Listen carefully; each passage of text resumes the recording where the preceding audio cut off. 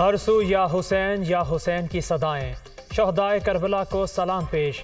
हज़रत इमाम हुसैन सलाम के जानसार साथियों की अजीम कुर्बानी मुल्क भर में योम आशोर मजहबी अकीदत और एहतराम से मनाया गया। शहर शहर योम आशोर के जलूस, अजादारों की गिरियाजारी, नोहा ख्वानी, सोजो सलाम के नजराने पेश। कराम और जाकरीन के मसायब अहल बैत पर बयान।